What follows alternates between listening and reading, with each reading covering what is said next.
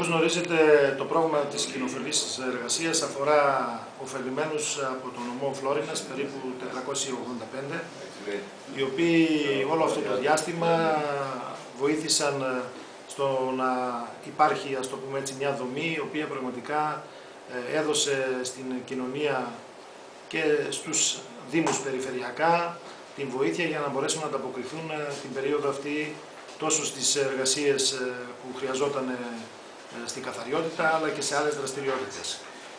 Δυστυχώς ε, το πρόγραμμα αυτό από το αρμόδιο Υπουργείο Εργασίας δεν είχε προβλέψει τα απαραίτητα κονδύλια τα οποία χρειαζόταν για να μπορέσει να εξυπηρετεί τους εργαζόμενους και να πληρώνονται τα οφειλόμενα ε, σε κάθε χρονική περίοδο, δηλαδή ανά μήνα.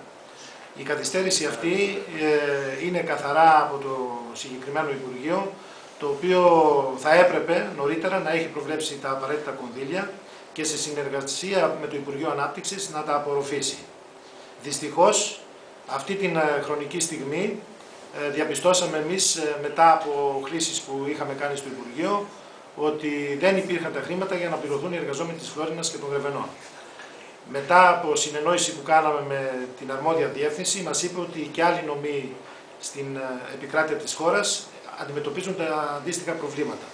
Επικοινωνήσαμε με το Υπουργείο Ανάπτυξης και σε συνεργασία με τον ε, βουλευτή τον κύριο Κωνσταντινίδη, τον οποίο τον ευχαριστούμε για την πίεση που άσκησε.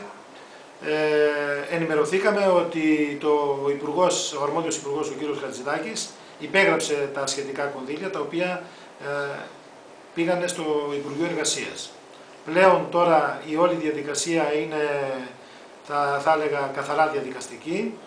Ελπίζουμε ότι στις επόμενες μέρες ε, θα μοιραστούν τα χρήματα ανά περιφέρεια και ανά ε, δήμο ο οποίος ε, έχει τους ε, εργαζόμενους αυτούς οι οποίοι δεν έχουν πληρωθεί και πιστεύουμε ότι σύντομα, πολύ σύντομα, δεν μπορώ να πω το χρονικό περιθώριο, θα δοθούν τα χρήματα στους ωφελούμενους της κοινοφελούς εργασίας.